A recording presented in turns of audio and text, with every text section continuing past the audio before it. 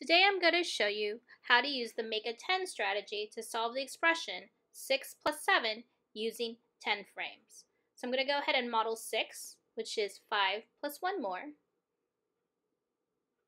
and 7, which is 5 plus 2 more. And I see that 7 is bigger and closest to 10.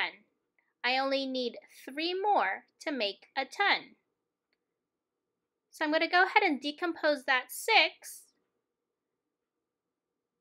and take 1, 2, 3 from the 6, and now I've made a 10.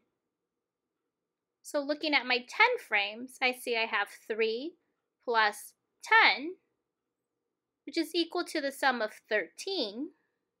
So 6 plus 7 is equal to the sum of 13 and that is the make a 10 strategy.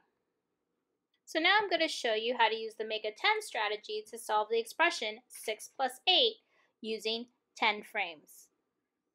So I'm going to go ahead and model 6, which is 5 plus 1 more, and 8, which is 5 plus 6, 7, 8, or 3 more, and I see that 8 is closest to 10.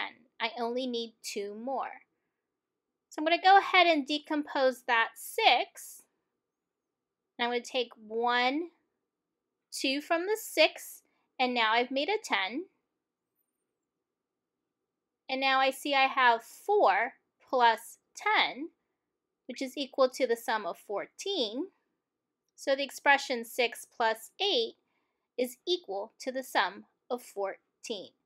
And that is how you use the make a 10 strategy.